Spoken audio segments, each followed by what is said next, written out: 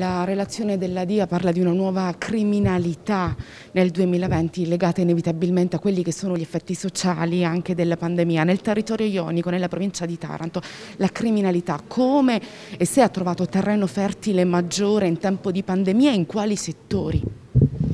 Guardi, eh, io credo che mh, mm, per poter rispondere a questa domanda bisognerà eh, attendere ancora del, del tempo. Eh, bisognerà guardare ai risultati delle investigazioni che attualmente abbiamo in, eh, in corso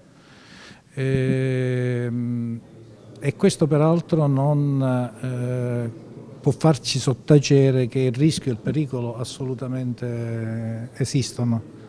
La nostra è una criminalità molto invasiva eh, che ha delle grandi capacità eh, di approcciarsi a, a, tutto quello che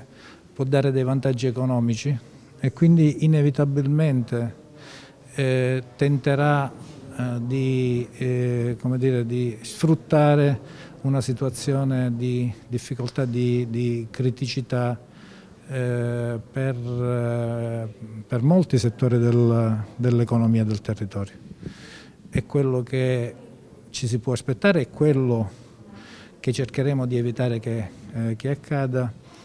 attraverso tutta una serie di attività che tendono a verificare